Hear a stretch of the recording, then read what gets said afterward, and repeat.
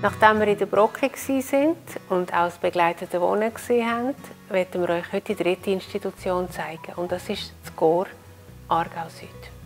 Jetzt sind wir hier in dem Raum, wo Gottesdienst stattfindet. Das sieht aber aus wie ein Multifunktionsraum. Kathi, kann man diesen Raum auch umgestalten? Wir ähm, möchten diesen Raum natürlich für verschiedene Sachen brauchen. Ähm, zum Beispiel äh, ist am Dienstag am Morgen ist es Turnen. Und wir haben auch geplant, dass wir jetzt dann mit dem Baby-Song anfangen Genau.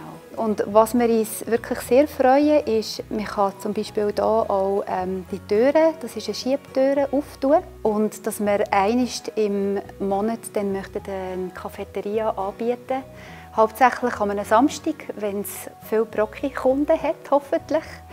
Ähm, und da freut sich äh, unser Team ganz fest drauf.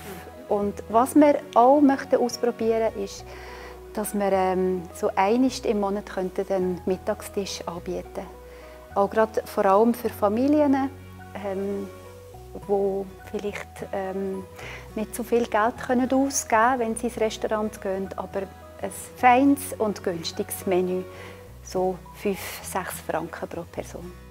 Was ist denn dort hinter dem Vorhang? Das ist ein, Kleinsaal und der wird gebraucht für einen Gemeinschaftsnachmittag, den wir jeden Donnerstag am Nachmittag für Senioren anbieten. Und den Vorhang den kann man auch aufmachen.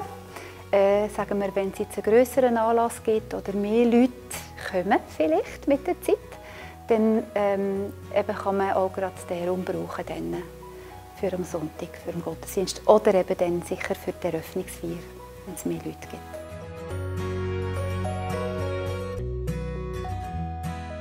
Jetzt haben wir in allen drei Institutionen einen kleinen Einblick bekommen. Wenn es euch Wunder äh, nimmt, wie es sonst aussieht, kommt doch einfach an die Eröffnung. Am Samstag hat Brocki Tag der offenen Tür und am Sonntag ist der grosse Festgottesdienst vom Chor. Und ihr seid herzlich eingeladen.